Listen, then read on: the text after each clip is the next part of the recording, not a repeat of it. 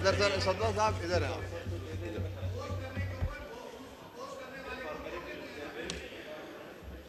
आप मौलाना असद महमूद साहब आप तशरीफ़ रखें।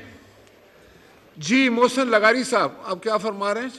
सर मैं अर्ज़ कर रहा था कि जो मेरा पार्लियामेंट्री तजर्बा है सर वो मुझे ये बताता है कि जब किसी अपोजिशन को अपोज किया जाता है तो जो अपोज करने वाले लोग होते हैं उनको बोलने का मौका दिया जाता है। और उसको before it is put to question ताकि वो भी अपना केस प्लीड कर सके और उसके बाद ऐवान ये देखे कि जो अपोज करने वाले का था लॉजिक उसमें कोई थी या जो जिन्होंने प्रपोज किया था वो ज़्यादा लॉजिकल था। मुझे मुझे सर अपोज करने के ऊपर हमें मैंने और मेरे कोलीग ने हमने अपोज किया सर हमें आपको मौका देना चाहिए था कि हम अपना केस प्लीड कर सकें हाउस के सामने before it is put to vote मेरा तो सर पार्लिमानी तजर्बा ये कहता है आप मेरे से ज़्यादा तजर्बाकार हैं सर। मेरे ख्याल में आपने लगारी साहब जब रेजोल्यूशन में ये बात नहीं है मोशन जब हो तो उस वक्त अगर आप कहते तो हम आपको सर मैंने उस वक्त भी किया था सर आपने उस वक्त भी बोलने नहीं दिया सर जी, अभी मैंने उस वक्त भी नो किया था सर। लेकिन अभी सर मेरी गुजारिश मेजोरिटी ने एक्सेप्ट किया आप सिर्फ़ अकेले हैं। तो सर अकेले को भी बोलने का हक होता है सर। ज़रूर, इसीलिए तो आपको दे रहा हूँ। सर यही तो जमहूरियत का मज़ा है सर। इसीलिए तो आपको दे सर रहा हूँ। मेरी मेरी बेटी जब छोटी थी ना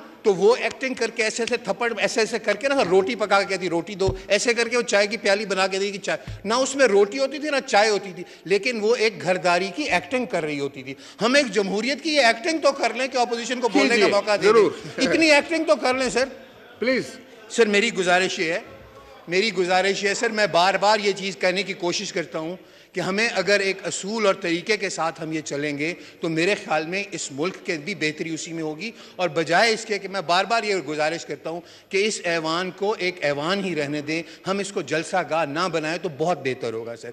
हम मैं मुस्तकिल सर घंटों के घंटे आप फ्लोर देते हैं लोग और मैंने कल भी अर्ज़ किया था कि इमरान खान इस हाउस में ना होते हुए भी सबके आसाब के ऊपर संभाल। है सर इसी अच्छी असम्बली के जो रूल्स हैं ना सर जो इसमें बोलने के तरीके की बात करता है सर ये जो अ, हमारा सर ये ये इसी है जो हमारे रूल्स हैं sir conduct to be observe wild speaking आपको फ्लोर दे दिया गया है मोहसन लगारी साहब। सर, मैं- तो आप अपनी बात मुकम्मल मैं सर अपनी बात को मुझे मुकम्मल कर लें सर। मैं मैं वही अर्ज़ करूँ सर। इसी में मुस्तकिल हम ये देख रहे हैं कि हमारे ये जो रूल्स हैं सर इसमें कॉन्डक्ट में जो है conduct we observe while speaking number thirty one इसके अंदर जो जी सेक्शन है सर वो कहता है cast reflection on the conduct of any person who can not defend himself before the assembly और सर हम मुस्तकिल मुस्तकिल आप उठा के देख लें सर नब्बे फ़ीसद जो है वक्त वो इमरान खान को क्रिटिसिज्म के ऊपर और अजीब व गरीब एक अजीब व गरीब लेवल की गुफ्तु के साथ हो रहा है सर। मेरी आपसे गुजारिश होगी मैंने कल भी आपसे गुजारिश की थी कि मेहरबानी करके आप ही करेक्ट कर दिया करें। हमारा हमारे रूल्स जो हैं आप कस्टोडियन ऑफ़ द हाउस हैं आपका काम है कि इस हाउस को एक तरीके के साथ चलाना सर। और फिर अ, मेरी अर्ज़ इस रेजोल्यूशन के बारे में मेरी अर्ज़ है सर।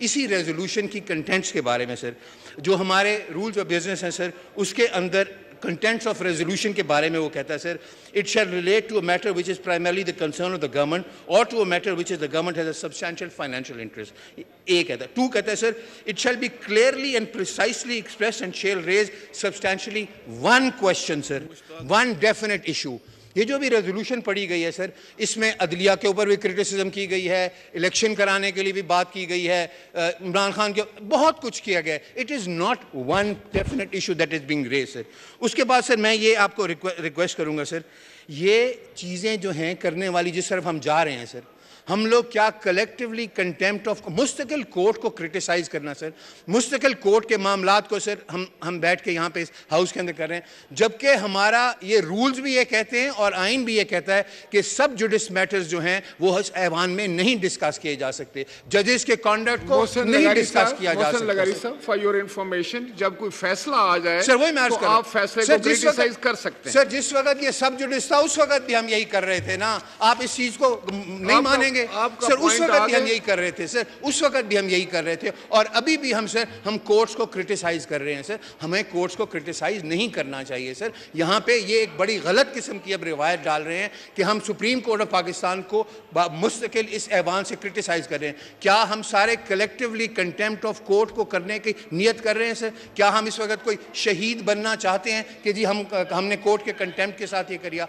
मेरी यही गुजारिश है सर। हम अपने आप को अपने डोमेन के अंदर अंदर रखें इसी आइन को जिसको हमने बनाया है, इसी आइन ने मुख्तलिफ़ हमारी हदूद रखी हैं। अगर हमने कोर्ट्स के मामला में दखल अंदाजी करनी है, इस आइन को तरमीम करके लिख दें कि भाई कोर्ट को भी जो है वो पार्लियामेंट डिक्टेट करेगी। लिख दें इसमें, वो हमारे पास इख्तियार है। हम मिले, इस आइन को तब्दील करते हैं कि कोर्ट के मामला को हम इस ऐवान से बैठ के चलाएँगे। तो बिल्कुल यही होगा। जब तक हमने ये नहीं किया, उस वक्त तक हम कोर्ट के मामला के ऊपर इस किस्म की बातें नहीं कर सकते। उस वक्त तक हम कोर्ट को यहाँ से क्रिटिसाइज इस तरह नहीं कर सकते इन रेजोल्यूशन क्या हम अदलिया और पार्लियामेंट के दरमियान जंग चाह रहे हैं? सर मेरा तो ये गुजारिश है क्या हम ये चाह रहे हैं? क्या हमारा ये कॉन्शियस डिसीज़न है कि हम इस वक्त अदलिया का और पार्लियामेंट के आपस में जंग करवाएँगे सुप्रीम कोर्ट के ऊपर सर इस तरह की चीज़ें नहीं की जा सकती आपका वर्षन आ गया।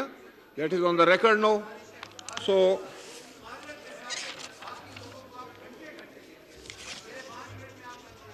जी। आप कंक्लूड कर लीजिएगा ना जी? आप कंक्लूड कर लीजिए मोहसिन लगारी साहब का माइक खोलें कंक्लूड कीजिए। मैं सर मैं वही अर्ज़ कर रहा हूँ सर मैं मैं वही अर्ज़ सर बाकी लोगों को आप घंटा घंटा देते हैं तो मुझे भी पाँच सात मिनट दे दिया करें। और जो- सर आपके ऐसी कोई बात नहीं करूँगा जिसमें आपकी भी एम्बेरसमेंट हो और उस हाउस का जो है तक जो मैार है उसको नीचे जाए। इंशाल्लाह बेहतर बात ही करूँगा सर। मैं तो हैरान होता हूँ जिस किस्म की बातें अभी वो पर्सनल क्रिटिसिज्म हो जाएगी। अभी जो लीडर ऑफ़ द ऑपोजिशन जो बातें की वो बातें करें, आप। अपनी बात फरमाएँ। सर मैं ये अर्ज़ कर रहा हूँ मैं ये अर्ज़ कर रहा हूँ कि सर हम ये जो रिवायत डाल रहे हैं जिस राह पे हम जा रहे हैं बड़ा खतरनाक है सर ये रास्ता। इस रास्ते पे चलते हुए हमें सोचना चाहिए ये कहाँ बैठ के हम ये डिसीजंस कर रहे हैं कि हमने सुप्रीम कोर्ट के साथ या अदलिया के साथ जंग करनी है? ये कोई करने वाली बात है सर? मुल्क के दो बड़े इदारे जो हैं उनकी आपस में हम जंग की बात करें। और इस बात इस बात और इदारों के दरमियान जंग की तो कोई बात नहीं सर आप उनके खिलाफ यहाँ से रेजोल्यूशन पास कर रहे हैं आप उनके ऊपर दबाव डालने की बातें कर रहे हैं। आप उन पे असरअंदाज होने की कोशिश कर रहे हैं। सो मेरी ये गुजारिश आप है। एक पार्लियामेंटेरियन हैं और आप एक अदारे इसी पार्लियामेंट की जो मदर ऑफ़ ऑल इंस्टीट्यूशन है उसके ऑनरेबल मेंबर हैं।